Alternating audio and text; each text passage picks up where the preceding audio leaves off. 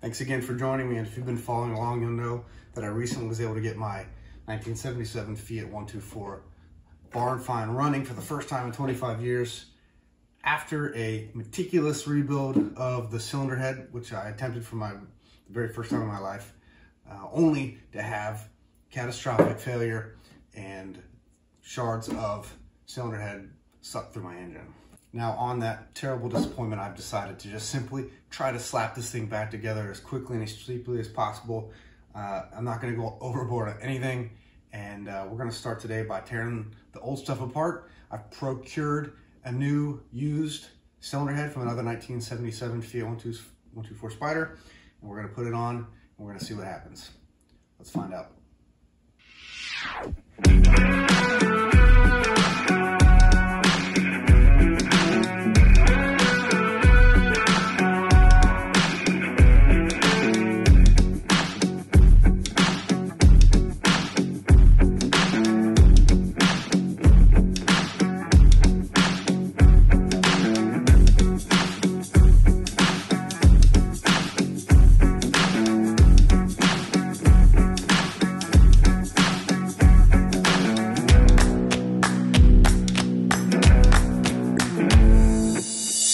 Okay, so after disassembling the head, I'm able to get a little better indication of what happened. And you can see the, the most damage is obviously the intake valve on cylinder number three broke completely off and then lodged itself inside the head, embedded the head. And I'm, I'm not sure which came first, but at some point the valve seat associated with that also came loose, disintegrated, and then somehow was able to pass through into cylinder number two and into cylinder number one. And you can see some of the damage where all those pieces bounced around um, for a couple rotations until the engine quit and caused quite a bit of damage on the head.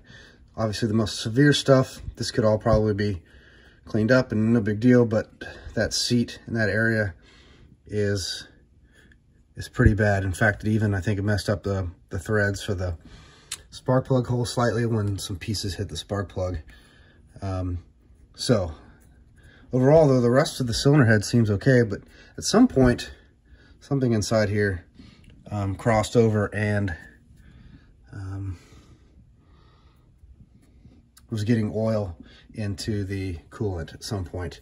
So I think there's more damage inside than, than can be shown from right here. But so when we look at the corresponding damage, we'll take a look um, was able to clean the uh, block off and take a look at the pistons, and they don't look good. Um, you can see there's some definitely some damage where that valve broke and hit. And then you can see how the pieces of the valve seat sharded like glass and just ripped chunks out of um, all both of these cylinders. Now, surprisingly, the cylinder walls um, on all of them are very smooth. I'm not quite sure how that's possible. I think basically the fragments got embedded in here and then didn't move. Um, so I've grounded down a little bit just off some of the high spots and um, I, I, don't see any holes that go all the way through. Now I'm not sure. Um, but you know what? I don't care. Um, I do have another extra piston um, that I can swap out if I really need to. You know, obviously I could get some more if there's some if there's some problems with it. But you know what? At this point, I'm um, I'm gonna start. I'm just gonna slap this new head on here and bolt it down real quick without anything, no accessories on it. I'm just gonna spin it around a few times, see if it holds any compression. And if it does, I'm just gonna I'm gonna go for it, and we're gonna see if we can uh, see if I can get this thing running in record time. All right, let's try it.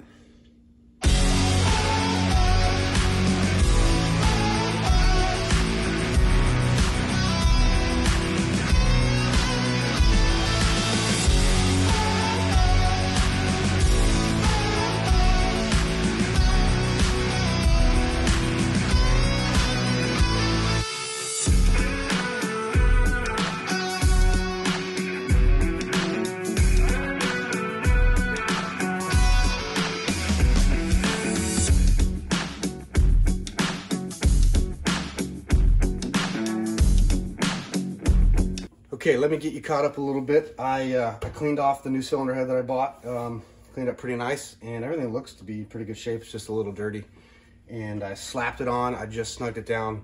Uh, I didn't torque it to spec. Uh, I just wanted to get it on there and I ran a compression. It's just a cold compression on every cylinder. And it went uh, uh, pretty good until I got to cylinder number three and it had zero compression. Um, all the other three cylinders had a little bit, um, pretty decent compression. So three was no bueno. Um, so I decided to pull the piston. I figured the piston, this is the one that got damaged the most. Um, this is the cylinder that the valve broke in, so I figured there must be some catastrophic damage inside that cylinder. So I, I, figured the only way to find out why there was zero compression is just to tear it apart. Um, I don't have a lift or a hoist, so I did it the old-fashioned way, and I just pulled the oil pan while the engine's in the car, which is challenging. Um, but it worked. I got it off. I, uh, I got the piston, as you can see, pulled off here. And honestly, just my first glance, I haven't even really wiped it off yet. It doesn't look um, it doesn't look bad. Um, obviously there's the, the gashes here on the top. And I just, I have to assume that one goes all the way through. Um, but I can't see, I can't see anything underneath that would cause me to believe um, the rings all seem to be intact, I think. I don't see any other strange marks on the skirt. Um, so I have to believe that maybe one of these gouges must just go through um, and it's just letting all the compression blast right by. Um, so that's where I'm at now. I'm gonna go ahead back over and inspect the cylinder walls to see if there's any damage there, which um, I don't think there are because I already kind of checked that before I pulled the piston out. Um, and then I will um, disassemble the piston next. And if everything looks good uh, on the block, I guess I will probably remove all the pistons, I assume would be a good idea, and maybe just upgrade them while I've got it open. Um, so I'm not sure exactly what's gonna happen. It didn't go quite as well as I thought. Um, anyway, that's where we're at now, and uh, I'll just keep chugging away.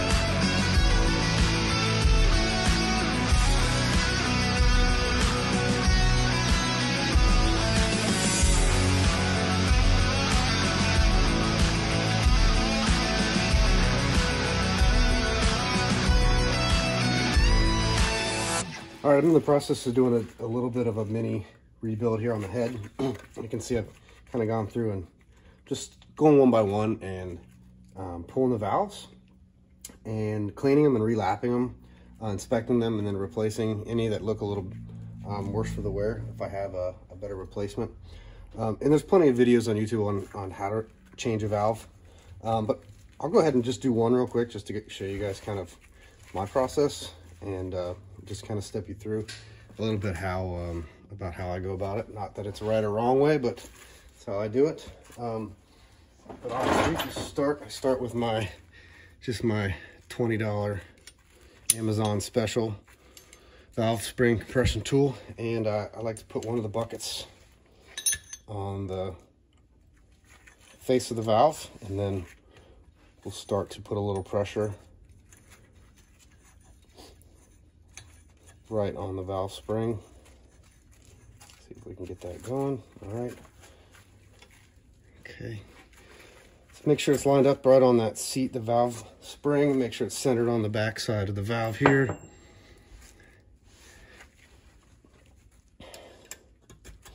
And give it a few twists so we can start to compress that spring. I've got safety glasses on. You guys can't see, but I'd recommend that because sometimes if these things get a little squirrely. Now, I like to uh, give a little wiggle after uh, after I get a little tension on there. And sometimes that, there we go, just popped a little bit. And essentially it's just taking some pressure off that um, retaining clip that's in there. So once we got that got loosened up, it should compress pretty, pretty easily here. Just try to keep it centered so it doesn't pop off. And then you can start to see the retaining clips inside this bucket uh, are starting to come out already. And then I usually just grab a magnet tool, pull those clips out. There's one, you know, if the other one gives you a little problem, just kind of pull it out. All right. And once you got that, the retaining clips out, it's just a matter of just taking some pressure off spring, back it off nice and easy.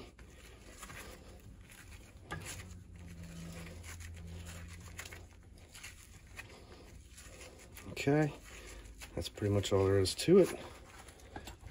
We'll pull the the tool off. Try not to drop everything on the floor. Pull our valve springs off. And we can push the valve right out through the back. There we have it. That's our intake valve for number one. All right, so I'm gonna go ahead and clean that up with a wire brush, some Scotch-Brite. Um, I'm gonna look at some of the other valves that I have that are, are a little bit more newer, see if any of those would be a better replacement. Then I'm gonna go ahead and just clean up this whole area here for both the intake and the exhaust. Little brake cleaner, little Scotch-Brite, little wire brush. Try to be easy on the valve seats there, um, but they look like they're in pretty good shape. Um, and then I typically just use a, a valve lapping tool on the end of my screw gun and we'll just um, we'll go back at it we're gonna i'm gonna go ahead and relap these check them all, and then reinstall the, uh, the springs in the reverse that I just took them off. So let's get back to it.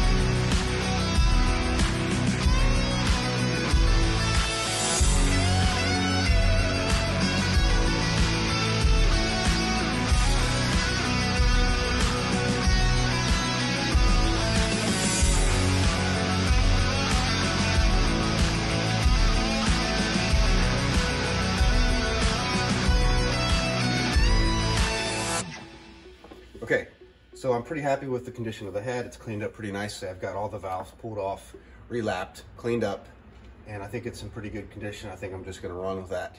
Um, I feel pretty good, but what I don't feel good about is the pistons. I think I got to show you guys already. I've been working on this for a couple days now. Um, but if you remember, they got tore up pretty good. You can see this one um, got a pretty good gash from the valve that broke off in it. Um, doesn't appear to go all the way through, but either way, um, some of the other pistons just got just got chewed up real bad by just shards of metal.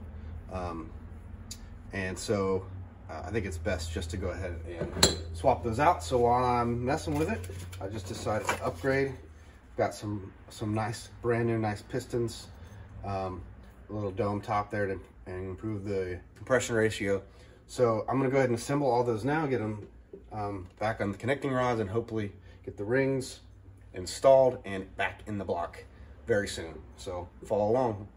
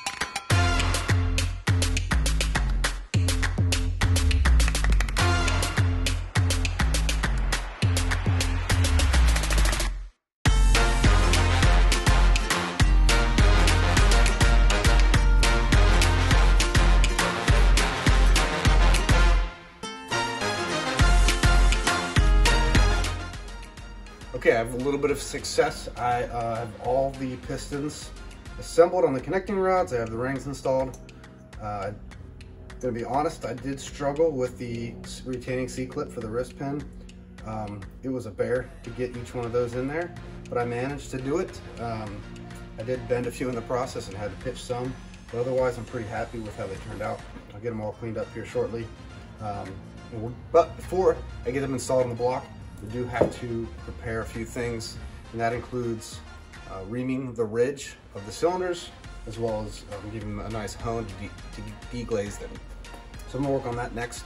I, uh, I have my ridge reamer here. I've never actually used this tool. I've never reamed a ridge before. I've never honed a cylinder. In fact, it's the first time I've ever held a piston in my life. So um, there's a good chance I'll mess this up, but I'm willing to jump in and try it. So you guys can follow along and see if we can get it right. Okay, probably no surprise to you guys, but I've watched exactly one YouTube video on how to ream the ridge of a cylinder. Now, these number number three here, I mean number two feels, feels the worst. I can just feel that with my fingertip. Um, this engine doesn't have a whole lot of miles on it. So they all feel pretty good, but I'm gonna go ahead and do my best here to see what we can get. Um, so in this case, you drop the, the reamer in this particular tool and then you turn the expansion nut until the reamer is snug, it says. There we go, feels kind of snug. Then we're gonna try to lubricate a little bit around here. Except that I'm out of WD-40. Let me see if I got another can. Here we go. There we go. Now, I assume you can use any kind of lubricant. Marvel's Mystery Oil, maybe even motor oil is probably okay. Go ahead and just get it wet with something. And then we're just gonna start turning it clockwise and let it do its thing. There it goes. Now this one's nice. It's got bearings on the feet that help align it to the cylinder walls. Just gonna bring it through a few times.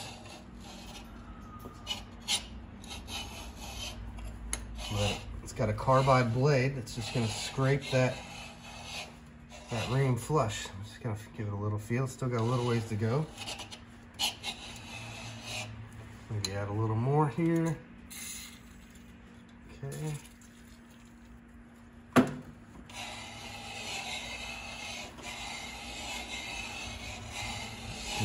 wood.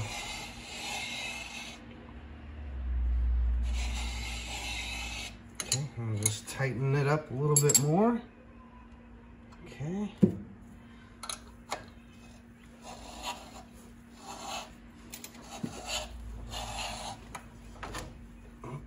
There we go. Loosen it back up now. Remove it.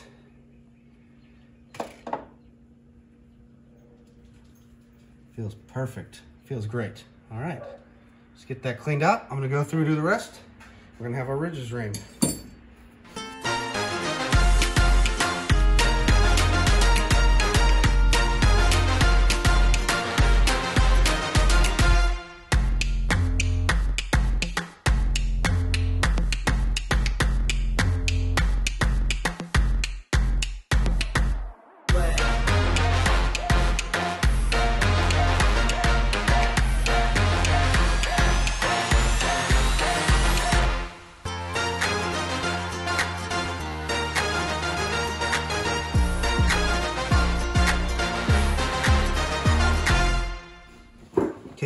Are. I've got the ridge. Ridges all reamed. They feel great. I've got the cylinders honed and deglazed nicely. Got everything real cleaned and degreased. And um, I've got my pistons ready. I've got them clocked. The rings clocked correctly, cleaned up real nicely. I've got my ring compressor on. I'm gonna start with cylinder number two. Uh, I'm just gonna get a little oil put in there and see if we can um, if we can slip this down in there and see how it goes.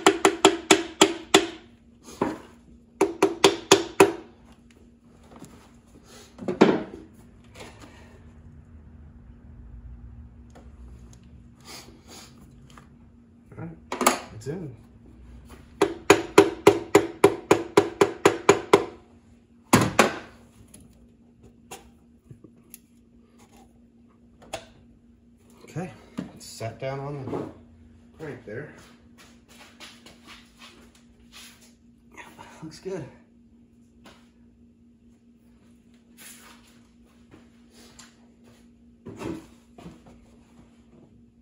Okay. Gonna do number three next, and then I'll do the rest.